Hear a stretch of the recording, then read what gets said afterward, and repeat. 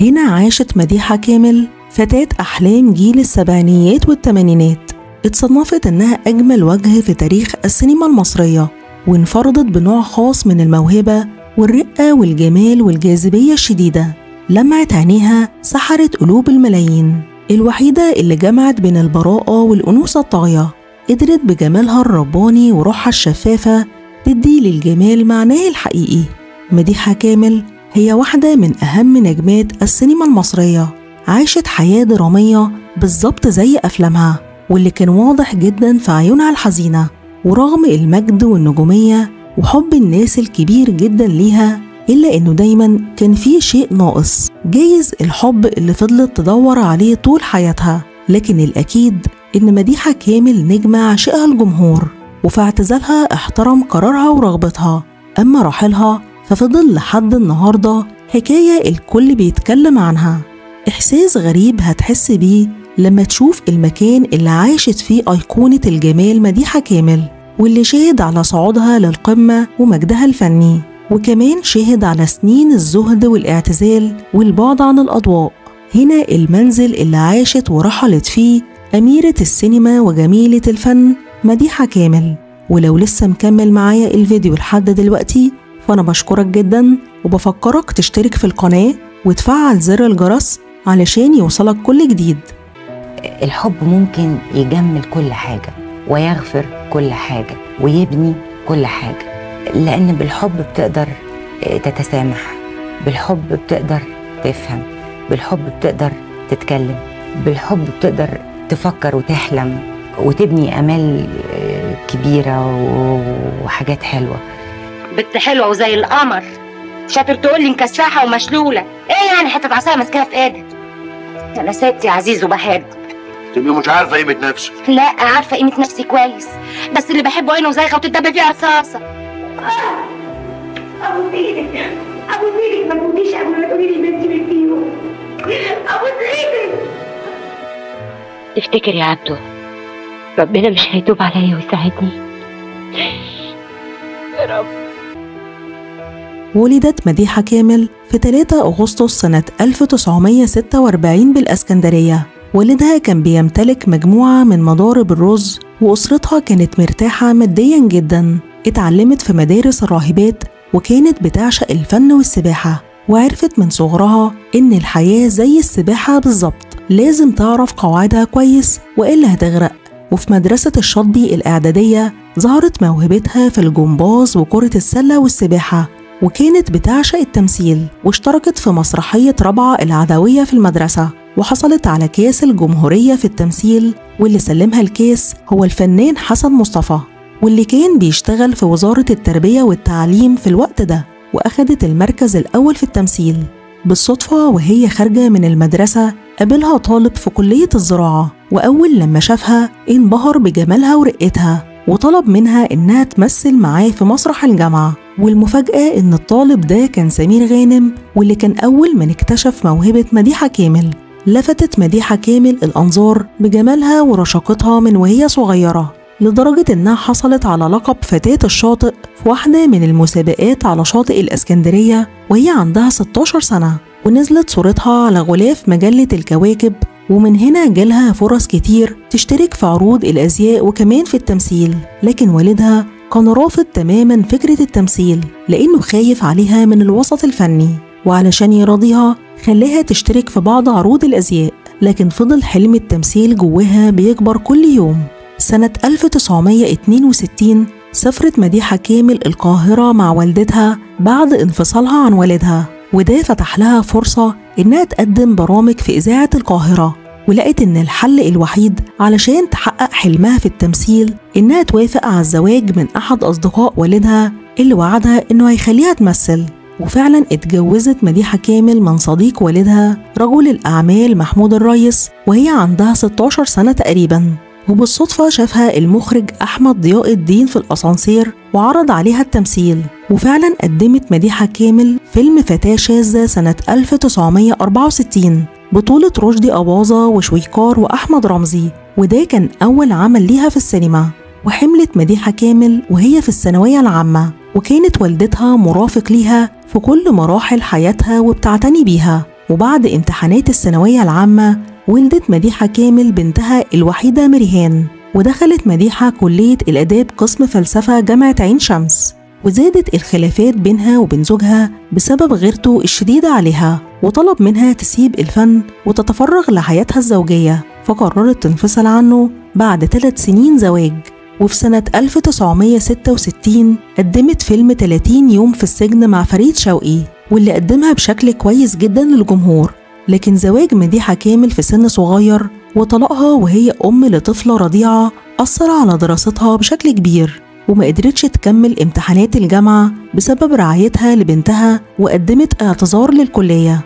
ورغم صعوبة التجربة لكن في نفس الوقت شخصيتها بقت أقوى وما بقاش والدها بيتدخل في حياتها. وفي الوقت ده اشتغلت مديحة كامل في مجال عروض الأزياء لفترة قصيرة وفي سنة 1967 اتجوزت مديحة كامل للمرة التانية من المخرج شريف حمودة وافتكرت إنه هيساعدها في مشوارها الفني خصوصا إنه كان مساعد مخرج لكبار المخرجين زي نيازي مصطفى وحلمي رفلة لكن ده ما حصلش وكان بيتحكم في اختياراتها واتطلقت منه بعد فترة قصيرة جدا. وكانت مديحة كامل في الفترة دي بتشارك في أفلام في مصر ولبنان بصراحة كده ما كانتش أحسن حاجة. فكانت بتقدم فيها بعض المشاهد الجريئة وبسببها اتصنفت بإنها ممثلة إغراء لكن الحسنة الوحيدة فيها إنها ساعدتها في الانتشار بشكل كبير. وفي سنة 1968 اتعرفت على المحامي جلال الديب وحبته جدا واتجوزه وعاشت معاه هي وبنتها مريهان وعمرها ست سنين. وكان بيحبها جدا وبيعاملها زي بنته بالظبط خصوصا إنه كان متجوز قبل كده وما عندهوش أولاد وعاشوا مع بعض حياة سعيدة جدا لحد ما حصلت له مشاكل مع الدولة بعد ثورة التصحيح سنة 1971 وكان مضطر يسافر ورفضت مديحة إنها تسافر معاه وتسيب بنتها وأهلها وكمان حلمها في التمثيل ورغم إن جلال الديب كان الحب الحقيقي الوحيد في حياة مديحة كامل لكنها انفصلت عنه وما اتجوزتش تاني بعده رغم عروض الزواج الكتير والمغرية.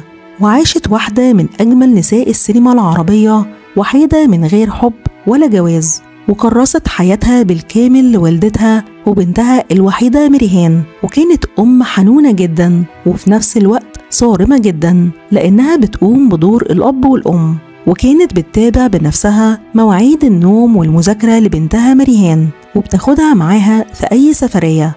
زواج مديحة كامل في سن صغير والمسؤولية اللي اتحملتها بدري خلاها تتأخر جدا عن باقي زميلاتها اللي ابتدوا معاها مشوارها الفني. وبقت كل الأدوار اللي بتتعرض عليها أدوار تانية لدرجة إنها يأست جدا إنها تاخد دور البطولة. وفي الفترة دي اتعرضت مديحة كامل لصدمة كبيرة بسبب وفاة أخوها مصطفى وعمره 17 سنة بعد شهر واحد بس من إصابته بسرطان الدم. حزنها على أخوها كان كبير جدا لدرجة إنها أصيبت بجلطة في رجلها سنة 1975 أثناء تصوير مسلسل الأفعى ومع العلاج اتحسنت وكملت أعمالها الفنية. وفي سنة 1977 اتعرض مسلسل الأفعى وبالصدفة شافها المخرج كمال الشيخ على شاشة التلفزيون وعجبته جدا وعرض عليها البطولة المطلقة في فيلمه الصعود إلى الهاوية مع الفنان الكبير محمود ياسين. لكن كل أصحابها حذروها من الفيلم ده لأن دورها فيه جاسوسة والجمهور ممكن يكرهها خصوصا إن الدور ده رفضته سعاد حسني ونجلاء فتحي وميرفت أمين. لكن بالرغم من كده أصرت إنها تشارك في الفيلم وكانت شايفة إن ده آخر أمل ليها في السينما علشان تثبت نفسها وتاخد أدوار البطولة. وفعلا أدت مديحة كامل دور الجاسوسة هبة سليم المأخوذ عن قصة حقيقية من واقع ملفات المخابرات العامة المصرية. وتعرض فيلم الصعود إلى الهاوية سنة 1978 ونجح الفيلم بشكل مذهل. وفضل مشهدها الأخير في الطيارة مع محمود ياسين واحد من أجمل المشاهد في تاريخ السينما المصرية. ده الهرم. وده النيل. دي مصر يا عبده. واستمر عرض الفيلم 43 أسبوع في السينما. وطبعا ده رقم خيالي وحققت نجاح فاق كل التوقعات وكان أول خطوة ليها في عالم النجومية المطلقة وأصبحت مديحة كامل من أهم النجمات في مصر وبقت قادرة تنافس مع جميلات الشاشة ميرفت أمين ونجلاء فتحي وقدمت مجموعة كبيرة من الأفلام المميزة زي امرأة قتلها الحب والرغبة وعيون لا تنام. وفي سنة 1981 قدمت فيلم العرافة مع صديقها الموسيقار عمر خورشيد وده كان آخر فيلم ليه لأنه في نفس السنة مات عمر خورشيد في حادث سيارة بشع أنهى على حياته تماما وأصيبت بعدها بحالة من الانهيار والاكتئاب الشديد لأنها كانت شاهدة على الحادثة بنفسها وفقدت أخوها وصديق عمرها عمر خورشيد. سنة 1982 تم التعاقد مع الفنانة مديحة كامل على بطولة فيلم العار علشان تقوم فيه بدور رؤى وده لأنها كانت أفضل ممثلة ممكن تقدم الدور ده ووافقت مديحة كامل لكن شرطها الوحيد إن مساحة الدور تكبر شوية علشان يتناسب مع حجم نجوميتها. وكمان اسمها ينزل على التتر بعد نور الشريف وقبل محمود عبد العزيز وحسين فهمي. لكن مخرج الفيلم علي عبد الخالق رفض أي تعديل واضطرت مديحة كامل إنها تعتذر عن الدور قبل التصوير بيومين. وراح الدور لنورة علشان يكون فيلم العار أهم أعمالها في السينما على الإطلاق. وقدمت في الفترة دي مجموعة كبيرة من أهم الأفلام في السينما المصرية. زي بريق عينيكي مع نور الشريف وحسين فهمي سنة 1982 ولكن شيئا ما يبقى مع محمود عبد العزيز ونورة سنة 1984 وانحراف برضو مع نور الشريف ونورة سنة 1985 ملف في الآداب مع فريد شوقي وصلاح السعدني سنة 1986 وغيرها من الأفلام الكتيرة. وقدرت بموهبتها الكبيرة تأسر قلب جمهور السينما وأصبحت مديحة كامل فتاة أحلام جيلها بالكامل. وبسبب الإرهاق الشديد أصيبت مديحة كامل أثناء التصوير بجلطة للمرة التانية في الساق اليسرى ودخلت بسببها المستشفى وكانت حالتها النفسية سيئة جدا والحزن مال عينيها واللي كان سبب في الجلطة اللي تعرضت ليها. واضطرت إنها تعتذر عن أعمال كتير كانت هتشارك فيها زي الحب فوق هضبة الهرم وامرأة مطلقة. وأول ما حالتها الصحية اتحسنت عملت حلقة خاصة في برنامج نجم وسهرة سنة 1985 واتكلمت فيها عن صديق عمرها ملك الجيتار عمر خورشيد. كبرت بنتها مريهان وبقوا زي الأصحاب خصوصا إن فرق السن بينهم أصلا مش كبير وزاد خوفها عليها أكتر لدرجة إنها كل ما تخرج كانت تفضل تتابعها بالتليفون لحد ما ترجع. ورثت مريهان الفن والذوق الجميل من مديحة كامل وبعد ما اتخرجت من كلية التجارة أصبحت مصممة أزياء. وأكبر دعم كان ممكن تقدمه مديحة كامل إنها تلبس فستان من تصميم بنتها مريهان علشان تستلم بيه جايزة لأحد أفلامها. سنة 1986 أصيبت مديحة كامل بالروماتويد واللي فضلت تعاني منه باقي حياتها.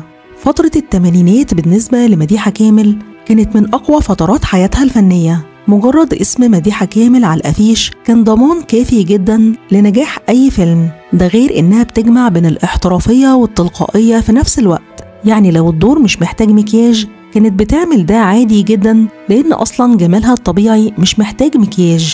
حتى علاقاتها بزمايلها في الوسط الفني كانت جميلة جدا ومش هتلاقي أبدا ولا مشكلة بينها وبين أي حد. وكانت طيبة وحنينة جدا مع العمال في الأستوديو. وزي ما كانت مديحة كامل واحدة من أهم نجمات السينما في جيلها قدرت من خلال المسلسلات تحجز ليها مكانة خاصة جدا في قلوب كل الأسر المصرية اللي كانت بتقعد قدام التلفزيون تستنى تشوف دورها وتلقائيتها في مسلسل البشاير مع محمود عبد العزيز سنة 1987 وبالمناسبة كانت طالعة فيه من غير ولا نقطة مكياج ورغم كده جمالها الطبيعي الرباني خطف عيون وقلوب كل محبيها. الحقيقة مديحة كامل مش بس كانت فنانة وممثلة موهوبة جدا كمان بتحب الرسم واللوحات دي هي اللي رسمتها وموجودة في بيتها لحد النهاردة. ده غير إنها بتكتب شعر وخواطر تجنن. ولما تسمعها وهي بتتكلم هتعرف قد إيه كانت شخصية راقية ومثقفة جدا.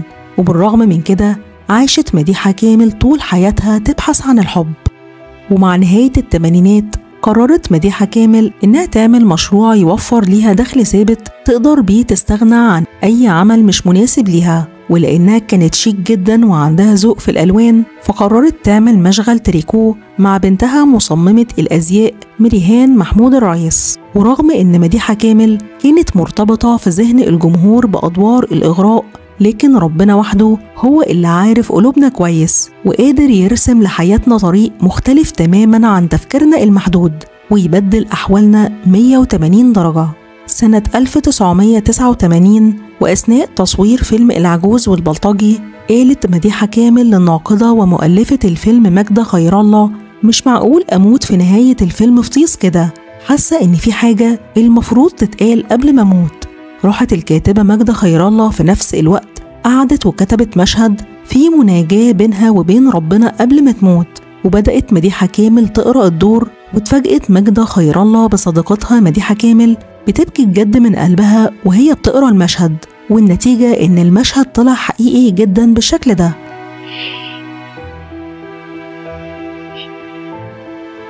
تفتكر يا عبدو ربنا مش هيتوب عليا ويساعدني؟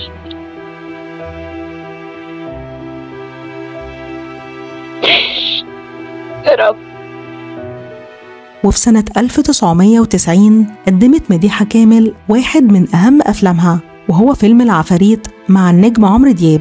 والحقيقة إن ده مش مجرد فيلم على الأقل بالنسبة لي.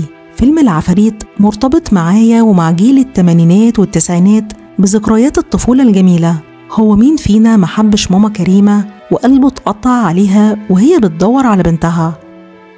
سنة 1991 اتعرضت والدة مديحة كامل لجلطة في المخ وفي أيام بسيطة قدر المرض يغير ملامحها بشكل كبير وهنا أدركت مديحة كامل إن الجمال زائل مهما كان.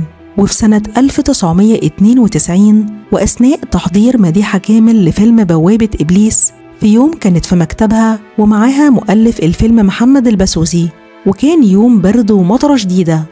اتفاجئ المؤلف محمد البسوسي بمديحة كامل وهي بتفتح الشباك وقعدت تكلم ربنا وهي منهارة من العياط وبتقوله يا رب أنت اديتني كل حاجة جمال ونجومية وحب الناس وأنا عمري ما اديتك أي حاجة أنا جايالك قريب.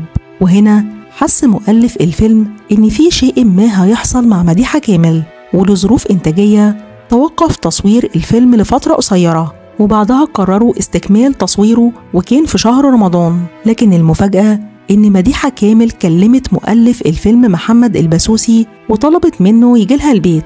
وأول لما شافها لقاها حاطة إشاربة على شعرها وافتكر إن دي مجرد طقوس لشهر رمضان. واتفاجئ وهي بتقوله أنا قررت اعتزالي ومش هقف قدام كاميرا تاني. حاول مؤلف الفيلم إن يوصل معاها لأي حلول لكنها رفضت كل الاقتراحات وكان قرارها بالاعتزال حاسم ونهائي وبالفعل اعتزلت مديحة كامل نهائيا سنة 1992 بعد مشوار فني قدمت فيه أكتر من 100 فيلم و15 مسلسل وخمس مسرحيات. قال المخرج عادل الأعصر إنه فعلا قرار اعتزال مديحة كامل كان ورطة كبيرة جدا لفريق العمل بالكامل لأنها بطلة الفيلم وما كانتش صورت غير نص مشاهدها فيه بس. وبالرغم من كده إلا إن المنتج إبراهيم شوقي احترم رغبتها ومرضيش يرفع عليها قضية ولا ياخد أي إجراء ضدها. وقرر المخرج عادل الأعصر إنه يكمل تصوير مشاهد الفيلم بدوبليرة للفنانة مديحة كامل وفعلا قدر يكمل الفيلم واتعرض سنة 1993 وأصبح بوابة إبليس هو آخر عمل قدمته مديحة كامل في حياتها. خبر اعتزال مديحة كامل حرفيا هز الوسط الفني بالكامل. وصدم جمهورها اللي اتحرم من فنها وطلتها خصوصا إنها اعتزلت وهي في عز مجدها ونجوميتها. ولكن بعد الاعتزال أصيبت مديحة كامل بمية على الرئة وضعف في عضلة القلب بسبب الروماتويد اللي كانت بتعاني منه سنين طويلة. وفي سنة 1993 اتجوزت بنتها الوحيدة ميريهان وما قدرتش تعيش بعيدة عن أمها أكتر من شهرين. ورجعت عاشت معاها هي وزوجها في شقة مديحة كامل في المهندسين واللي ما زالت بنتها مريهان عايشة فيها هي وأولادها لحد النهاردة. عاشت مديحة كامل بعد الاعتزال حياة هادية وكانت متصالحة جدا مع نفسها. لا عمرها اتنكرت لأي عمل شاركت فيه ولا طلعت تشتم في الفن والفنانين ولا مرة فكرت تتاجر بتجربتها في الاعتزال. وفي سنة 1997 انتهى آخر فصل في حياة فاتنة السينما مديحة كامل فجر يوم 13 يناير الموافق 4 من رمضان. اتسحرت مديحة كامل وبعدها كلمت كل أصحابها القريبين في التليفون وفضلت تحكي معاهم لحد قرب الفجر وبعدها صلت الفجر جماعة مع بنتها وزوج بنتها مريهان ودخلت تنام وظبطت المنبه على الساعة 12 علشان صلاة الظهر. مرت الساعات ودق المنبه الساعة 12 الظهر وفضل يرن بشكل متواصل فدخلت مريهان تصحيها علشان تصلي الظهر كعادتها في مسجد مصطفى محمود. لقيتها نايمة وجنبها كتيب فيه صورة البقرة اللي كانت بتحفظها في الفترة دي فحاولت مريهان تصحيها لكنها مش بترد. وما خطرش ببالها أبدا إنها ممكن تكون ماتت. وبسرعة جابت الدكتور من معهد القلب جنب البيت علشان يعلن وفاة مديحة كامل وعمرها خمسين سنة. وانهارت مريهان تماما وأصيبت بصدمة عصبية لدرجة إنها كانت رافضة تماما فكرة إن خلاص أمها ماتت. ومن رحمة ربنا وحكمته إن مديحة كامل رحلت وعاشت والدتها المصابة بجلطة في المخ واللي كانت سبب في اعتزال مديحة كامل الفن وحضرت الأم الجنازة وهي مش مستوعبة ولا مدركة بسبب الجلطة إن دي جنازة بنتها. وبعد وفاة مديحة كامل لقت بنتها في الدولاب بتاعها مجموعة من الكتيبات الدينية اللي بتتوزع صدقة في عزاء المتوفي. كانت مديحة كامل طبعتهم من غير ما تقول لحد وفعلا قاموا بتوزيعها بعد وفاتها. ده غير إنها اكتشفت أعمال خير كتير جدا كانت بتعملها أمها في الخفاء. ولأن مديحة كامل كانت أيقونة الجمال في السينما المصرية فكان من الطبيعي إن كل عشاقها يركزوا في أدق تفاصيلها. وأكتر حاجة كانت غريبة وملفتة هي سلسلة مديحة كامل وهي سلسلة بسيطة على شكل قلب كانت لابساها دايما وظاهرة معاها في كل أعمالها. وده معناه إن السلسلة دي خاصة وغالية عليها جدا. وبدأت الناس تربط بين نظرات الحزن اللي كانت بتداريها ورا ابتسامتها وبين السلسلة وقالوا إن السلسلة دي أهداها ليها حبيبها قبل استدعائه في حرب الاستنزاف وقال لها لو حصل لي حاجة اتجوزي وعيشي حياتك بس لو ممكن ما تقلعيش السلسلة دي أبدا علشان تفضلي فاكراني.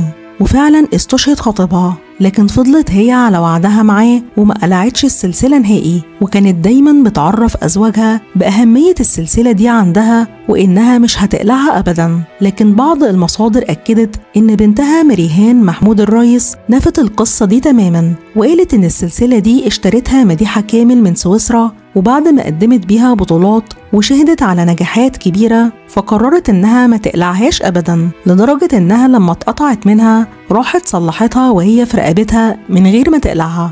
ورغم مرور السنين على رحيل فاتنة الشاشة مديحة كامل إلا إن محدش قدر ينسى أفلامها ولا ملامحها الرقيقة وعن قصة اعتزالها ورحيلها فضلت الناس لحد النهاردة تحكي وتتحاكى بيها. وفضلت أيقونة الجمال مديحة كامل وجه جميل وسيرة طيبة وتاريخ سينمائي محفور جوانا.